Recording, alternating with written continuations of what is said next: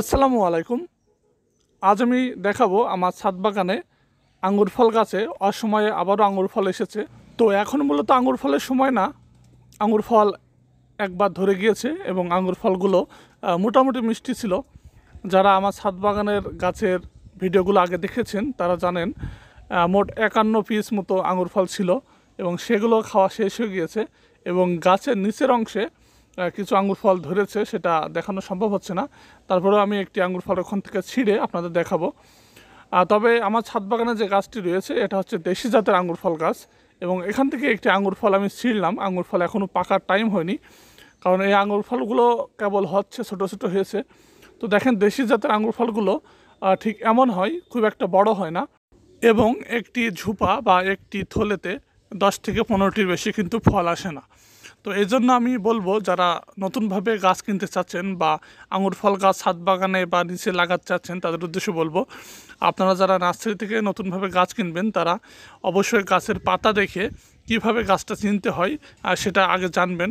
এ আমার স্ক্রিনের যে পাতাটা এখন দেখতে পাচ্ছেন, এটা হচ্ছে মূলত মিষ্টি জাতের আঙুর ফল গাছ। এবং দেশি জাতের আঙুর ফল গাছের পাতা অনেকটা পান পাতার মতো। তো এই বিষয়টা ভালোভাবে লক্ষ্য করে, ভালোভাবে চিনে অবশ্যই আপনারা গাছটা কিনবেন। দেশি জাতের আঙুর ফলের যে মূল যে সমস্যা, সেটা হচ্ছে একটি ঝোপাই দশ থেকে পনেরোটি মতো ফল ধরে এবং ফলের সাইজটা খুবই ছোট হয়। একটি ফলের মধ্যে তিন থেকে চারটি বড় বড় মোটা মোটা বিচি থাকে এবং খোসাটা মানে আঙুর ফলের যে খোসা সেটা খুবই মোটা হয়। আর সেক্ষেত্রে সব মিলিয়ে ফলটা খুব একটা ভালো হবে না আমার যতটুকু মনে হয়। এই জন্য আপনারা যারা নার্সারি থেকে নতুনভাবে গাছ কিনবেন, অবশ্যই সঠিক জাতটা আগে চিনে নিয়ে তারপরে গাছটা কেনার চেষ্টা করবেন। কারণ নার্সারি থেকে যখন আমরা গাছ কিনি সেক্ষেত্রে শুধুমাত্র আঙুর ফল গাছ না প্রতিটা গাছই প্রতারণার শিকার হতে হয় যদি আপনারা সঠিকভাবে জাতটা চিনতে না পারেন। আপনাদের যে গাছই দিক না কেন, আপনারা সেটা নিয়ে চলে আসবেন এবং গাছের প্রচুর পরিমাণ দাম কিন্তু আপনাদের কাছ থেকে নিয়ে নেয়। আমার যে আঙুর ফলটা গাছটা দেখতে পাচ্ছেন, এটা হচ্ছে দেশি জাতের একটি আঙুর ফল গাছ এবং এই গাছটার মূল্য নিয়েছিল পঁয়তাল্লিশ টাকা মতো পঁয়তাল্লিশ থেকে পঞ্চাশ টাকা মতো নিয়েছিল এই গাছটার মূল্য এবং বিদেশি জাতের যে আঙুর ফল গাছ রয়েছে, সেটা দাম কিন্তু আট থেকে নয়শো টাকা।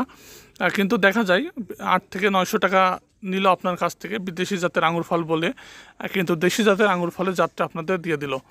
দেখা যাচ্ছে এক থেকে দুই বছর পর যখন ফলটা আসবে তখন দেখছেন দেশি জাতের আঙুর ফল হয়ে গিয়েছে। এতদিন পর আপনাদের নার্সারি যেখান থেকে কিনেছিলেন তাদের ধরতেও পারবেন না, কিছু বলতে পারবেন না। তো সব মিলিয়ে খুব একটা সমস্যা, এই জন্য বলব অবশ্যই ভালো জাতের আঙুর ফলের জাতটাকে চিনে নেবেন, পাতা দেখে, তারপরে অবশ্যই আপনার গাছটা কিনবেন। এবং দেশি জাতের আঙুর ফলের যে খোসাটা রয়েছে, দেখেন কি ভিতরের অংশটা দেখেন। এখনও ফলটা পাকেনি, তারপরেও কিছুটা বোঝা যাচ্ছে।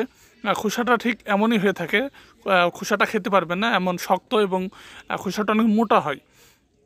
এবং দেশি জাতের আঙুর ফল আর পাতাগুলো ভালোভাবে দেখেন, এটা হচ্ছে দেশি জাতের আঙুর ফল, অনেকটা পান পাতার মতো দেখতে। কোনো প্রকার গ্যাপ বা কাটা কাটা অংশ নেই।